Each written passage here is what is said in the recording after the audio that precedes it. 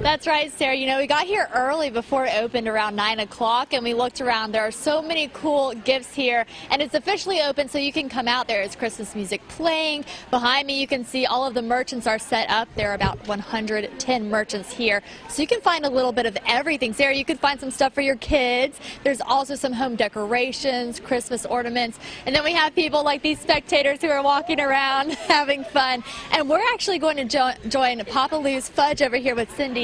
You guys have been coming to this uh, Christmas Jubilee for some time. Why do you keep coming Yes, ma'am. Um, we've done it for eight years now. We really enjoy coming out. It's a good family friendly festival. The kids have a great time. There's something for everyone to do.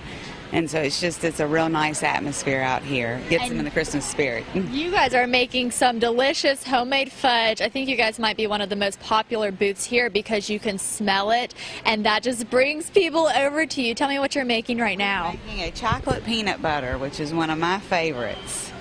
You can't beat chocolate peanut butter. It's like Reese's Cup, but it's homemade, so it's yes, even better. ma'am. We have 14 different flavors to choose from. We even have a pumpkin pie All to right. get everybody in the holiday spirit. That's what I was going to say. It's like a Christmas wonderland out here. So we're going to be out here. You guys should come check it out. It's going to be open until 9 o'clock tonight, and then there are also activities happening all day tomorrow. So back to you guys in the studio. You have to come check it out, though, because um, Sarah, this is some pretty good fudge. I, I'm pretty sure that your kiddos would like it. Oh, for sure they'd like it. I'm going to tell them that Miss Candace sent it home. Is that a good idea? So Candace got to check out Boot.